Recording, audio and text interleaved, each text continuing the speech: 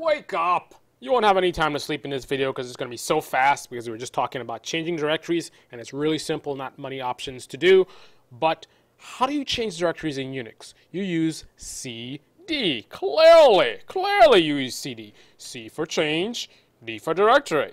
Now, if I do cd with nothing else, it's going to take me to my home directory. Present working directory is my home directory, home Cordell. If I go to the root directory by going cd forward slash, now I'm in the root directory, confirmed by pwd, root directory.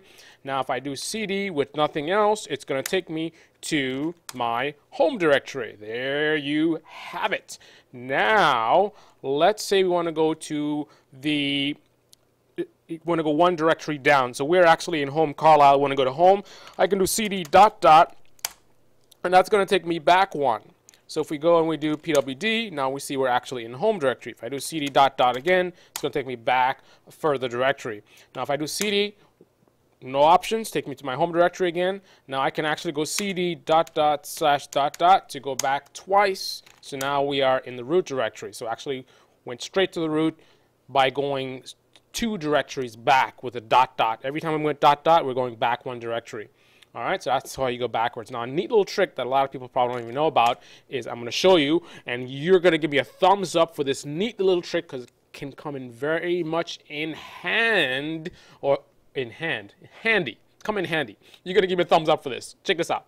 So we can go root directory, and let's do an ls, and we see we have a, uh, a bin directory, so we're in the bin directory.